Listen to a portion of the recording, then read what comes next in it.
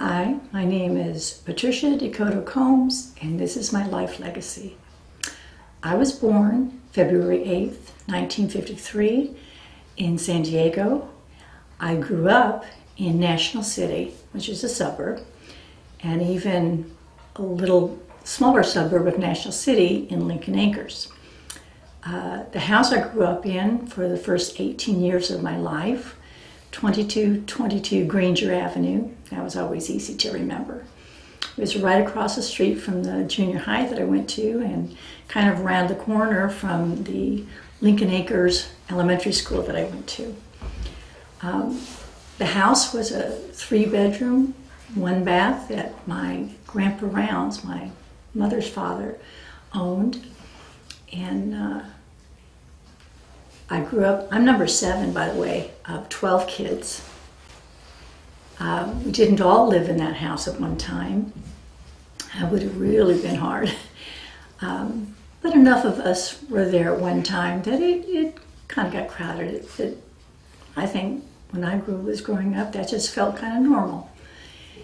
Um, I do remember when we only have three bedrooms and one bath, I do remember uh, my dad. He liked to uh, kind of grab his pack of cigarettes and newspaper, and in the mornings, he liked to grab that bathroom. And when he did, he was in there for a long time. And when I say long time, I'm talking maybe one to two hours. And if that was the case and you had to go to the bathroom, the boys, the older boys, we had a back porch that was high enough they just go out and kind of pee off the back porch. Us little girls, we had a chamber pot in the uh, laundry room. The older girls, they kind of go next to the next door neighbors and knock on the door. And uh, that was just life when you're in a, a big family with one bathroom. And another ritual I remember when I was little when I was little, I had long red hair, uh, kind of down to my waist. And uh, when we, we had eight girls, well, the older girls, we had three older girls, but we had enough younger, uh, enough of us younger girls that mom had to uh, wash her hair. And the ritual was she would clear off the um, kitchen counter and put us, lay us down on the kitchen counter and put a towel behind our neck and just wash our hair in the kitchen sink. We had one of those big, uh, like a farm sink. And uh, just, it was kind of relaxing, especially it took a while to, to wash that many heads. And uh, especially with the long hair, wash and rinse. And speaking of washing, I remember we had an old style washing machine. It was this type, that it had an old cranking um, wringer. You did a load of laundry, and then you had to hand feed each piece of um, clothing into the hand wringer very carefully so you didn't get your fingers caught. And crank it in. Grab it and crank it in to the where it get it fed it in to the tub behind it full of, of uh, rinse water. And crank it in and like I said you made sure your fingers didn't get caught. And it would the rinse water was behind you in a big tub of water and then you'd swing it like this and then you'd do it all over again and crank it from the rinse water into a dry tub. And we, there would be a mountain of laundry. And I'd watch my mom and my older sisters as it was their turn to do it.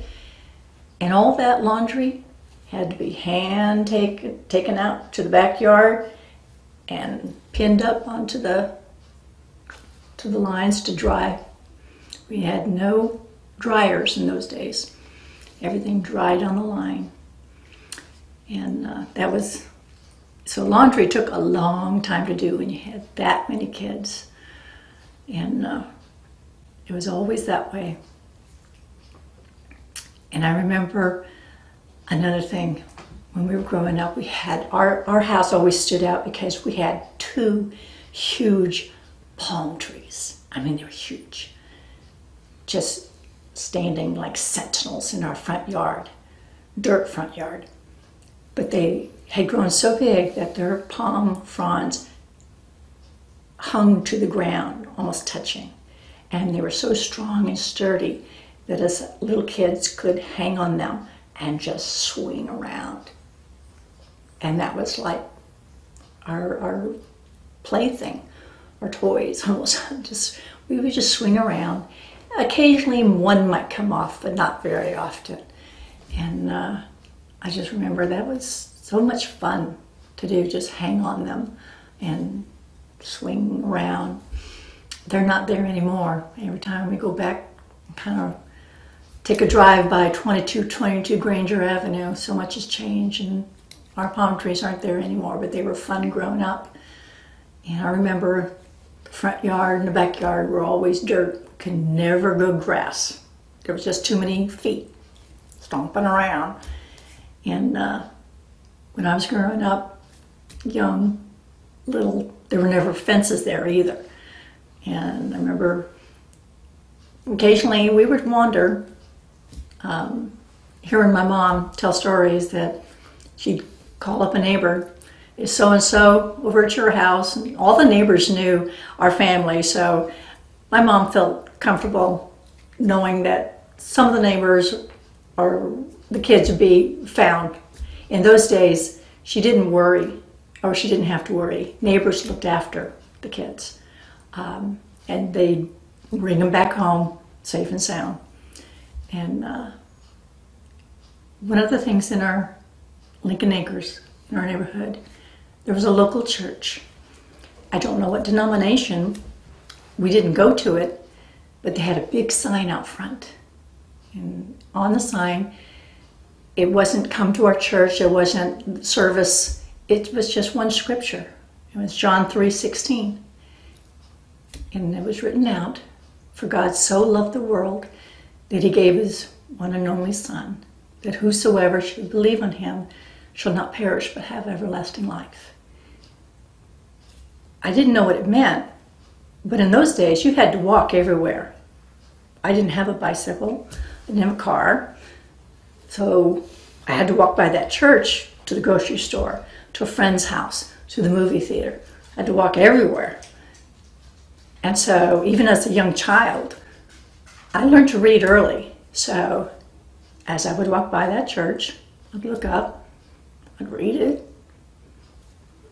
As I walked back home, I'd look up, I'd read it. Years go by. I'd always, it just would be an automatic thing. Look up, read it, go buy it. I think God used that sign as planting the first seed in my heart because I grew up Catholic. And so I went to catechism. I went to First Communion, I learned about God and the Trinity, Jesus, the Holy Spirit, but I don't remember anything else going to, to catechism. But I do remember memorizing that first scripture, John 3:16, and later giving my heart to Jesus.